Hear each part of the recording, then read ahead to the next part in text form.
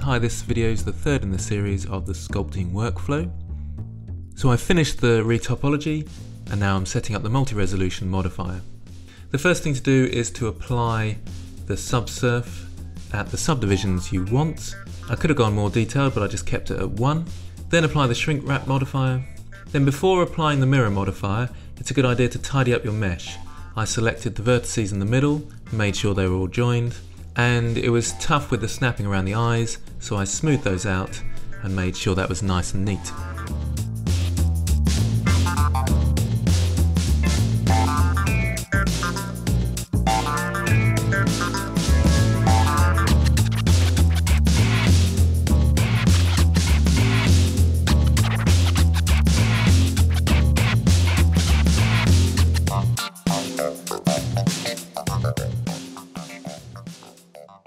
Point I added the multi-resolution modifier.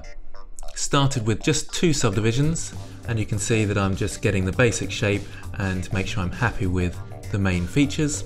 My original sculpt was too detailed really and I didn't need to put that much effort into it. All I needed to do was get to an early stage because the multi-res is the place where you want to start adding the detail.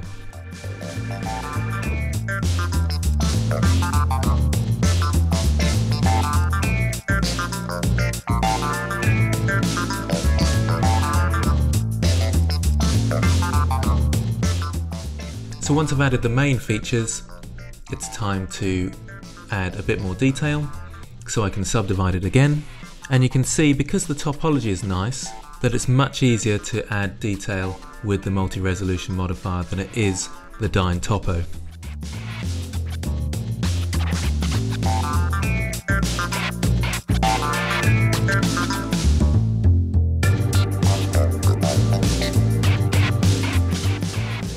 So that's one reason for using the multi-resolution modifier. Because it's got the correct topology, the detail's in all the right places. It's very good as well for adding a texture brush to, which I'll do later.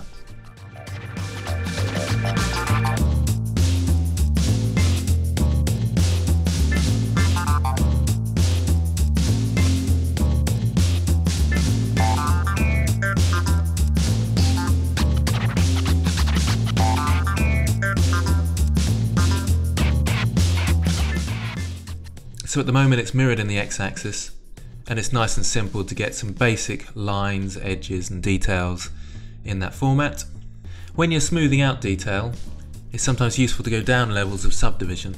So you can actually go up and down the levels, change things at a lower level and then go up again to your detail.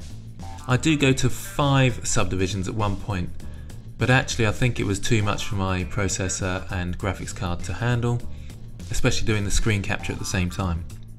If you want to learn more about this sculpting technique of using textures, then I'll add a card here for another tutorial.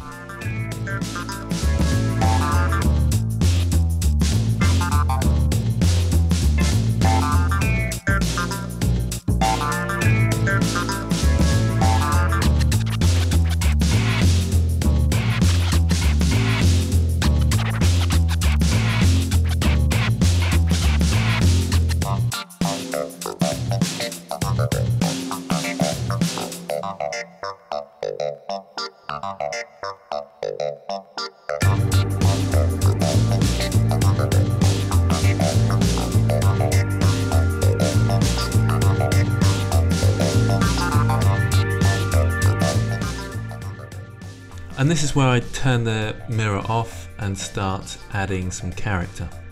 Because this project is not for commercial use or anything, I'm really experimenting, seeing how deep I can go with these wrinkles and creases.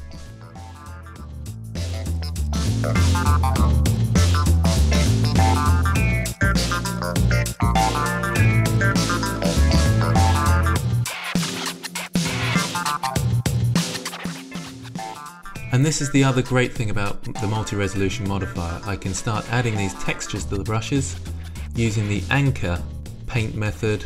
I can then click and drag and just make sure that the flow is going in the right direction. So all the wrinkles are going in the same direction as you'd expect them to go on the skin.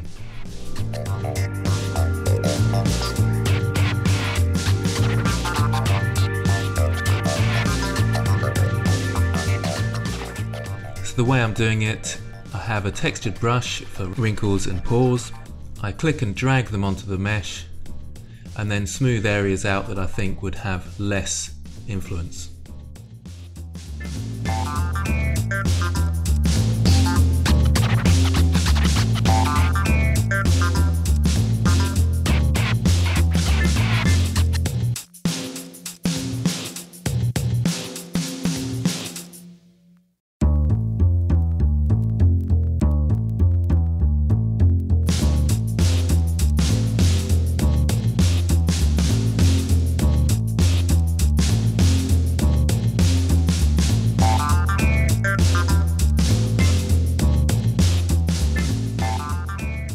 It's at a reasonably low strength, uh, 0.2, 0.3 I go up to at one point I think. Probably went a bit overboard on the pores, but I wanted to give it some real character to this old man. And with the MatCap shading, it's often a little bit more exaggerated. So when I come to do the texturing, we'll see whether it's that much more highlighted.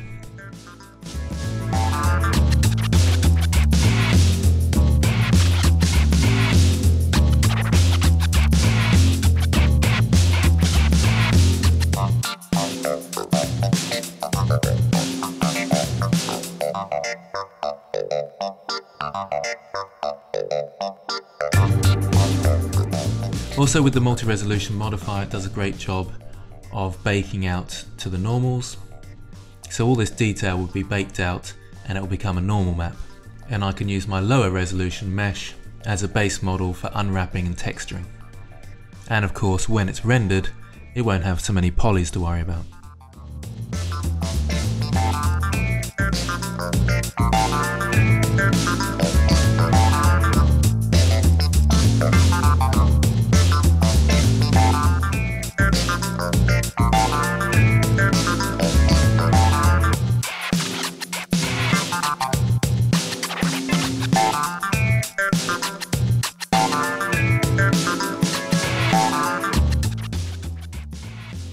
So you can really see the sort of old gnarly skin that this man's got. And I was really experimenting, putting these wrinkles all over the place, experimenting with different brushes, and just enjoying myself.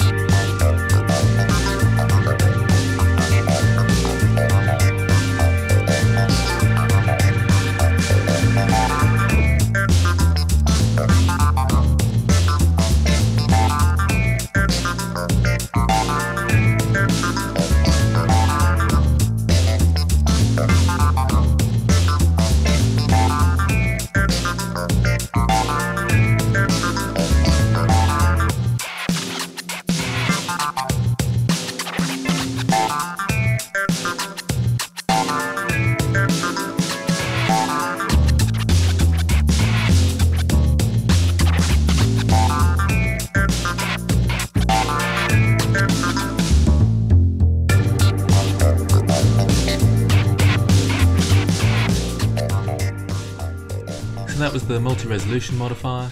Hopefully you can see the advantages of that. In the next session I'll be unwrapping the mesh, ready for texturing.